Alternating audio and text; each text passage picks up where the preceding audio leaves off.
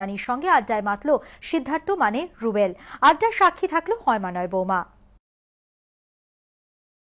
Shooting শুরু হতে তখনও কিছুটা সময় বাকি। তারই মাঝে হয়মানয় বৌমার মেয়েদের মেকআপ রুমে ঢু মারল সিদ্ধার্থ। সিদ্ধার্থ এই লুকে আছে যখন একটু এনজয় একটু ফান করতেই পারে। সো আমরা মেয়েদের মেকআপ রুমে ঢুকবো চলে আসুন। চা! চা খাবে? লিকার না দুধ? গ্রিন দাঁড়াও। গ্রিন টি খাবে। মেয়েদের মেকআপ রুমে প্রথমবার ঢুকলাম এর আগে কোনোদিনও ঢুকিনি মেয়েদের মেকআপ রুমে দেখি আগে। বাহ অসাধারণ। আমাদের ছেলেদেরটা খুবই খারাপ যাই হোক।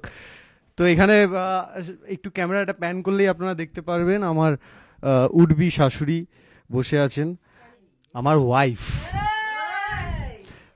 আমার উডবি ওয়াইফ বললাম তো উঠবি না উঠবি তুমি? সবাই মেকআপ করে আছে আর আমি সবে ঢুকলাম আমার এখনও শুটিং শুরু হয়নি। বলতে তুমি এমনি গ্ল্যামারাস তোমার মেকআপের প্রয়োজন হয় না? এমনি সুন্দর এমনি হ্যান্ডসাম সেটা অন স্ক্রিন বলি অফ স্ক্রিন কিন্তু না।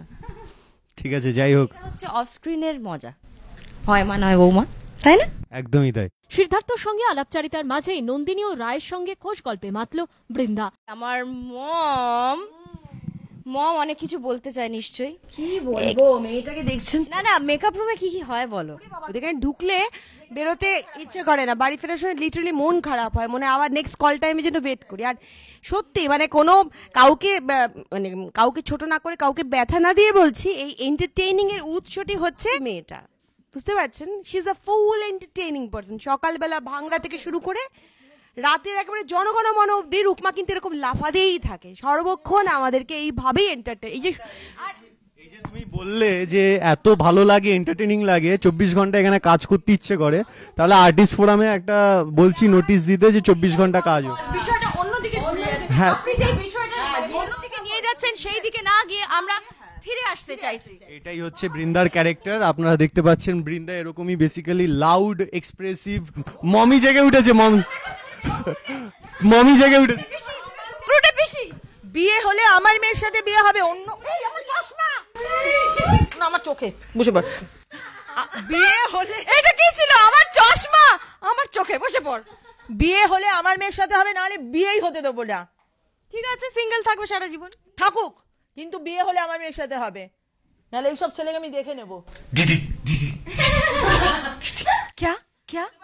ধারাবাহিকে বৃন্দা ও রায়ের সঙ্গে সিদ্ধার্থের সম্পর্কে টানাপোড়েন চলছে। মেকআপ রুমে দুজনের মায়ের পাল্লায় পড়ল সে। আরে আপনারা বলুন আপনারা বলুন একটু আগে এই ভদ্রমহিলা এই ভদ্রমহিলা বলছিলেন যে আমাকে ঘুমোতে দাও আমি রান্না করেছি আমি খাইয়েছি আর এখন যেই শুনেছে না যেই শুনেছে যেই শুনেছে যে আমার এই সুন্দরী মেয়েটাকে দেখে সিডের ভালো লেগেছে খুব স্বাভাবিক তো বলছে আমাকে উঠবি মম বলেছে ও মা অমনি তাড়াক করে উঠে বসেছে বিয়ে হতে দেবো না হলে আমার মেয়ের সঙ্গে আমি নাহলে- এ, থাক হ্যাঁ, থাক থাক সিঙ্গল আপনার মেয়ে সুন্দরী আমার মেয়ে নয়।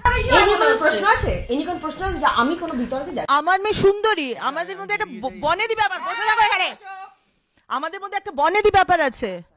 আমাদের মধ্যে সফিস্টিকেশন আছে। ঘোড়ার ডিম আছে। বুঝতেই পারছেন হাওয়া প্রচণ্ড গরম হয়ে যাচ্ছে তো আমি একটাই প্রশ্ন রুবেলকে জিজ্ঞেস করতে চাই মানে সিটকে জিজ্ঞেস করতে চাই। কাকে চুজ করবে? দুজনের মধ্যে? আমি না ওই রায়া? আনসার বেটা। আমার একটু যাকে বাদ দিবে তার মামার তার মাই ধুম করে একটা। এসি চালাও না একটু গরম লাগছে। গরম লাগছে খুব টেনশন করেছে। এসি পাখা সব দিয়ে দেবো। ঘাম বেরোচ্ছে অলরেডি ওটা দাও বাবা। যাকে বাদ দেবে তার আমার আমার আমার কাকে চাই সেটা আমি ডিসাইড করতে পারব না সেটা ডিসাইড করবে আমাদের রাইটার আমাদের গল্প সো আমরা ওয়েট করি তার জন্য। যাকে আমরা সেটা বলছিলাম যে মেকআপ রুমে আমাদের এরকমই মজা আড্ডা গল্প ঝগড়া খেলা অনেক কিছু চলে। আমরা ডামসার আর্ট খেলি আমরা আগের দিন অন্তাক্ষরী খেলছিলাম। তো সেগুলো আপনাদের দেখতে নিশ্চয়ই ইন্টারেস্টেড আছেন। তার জন্য কি করতে হবে? হয় মা নয় বৌমা দেখতে হবে। অতসী মুখোপাধ্যায় এবিপি আনন্দ।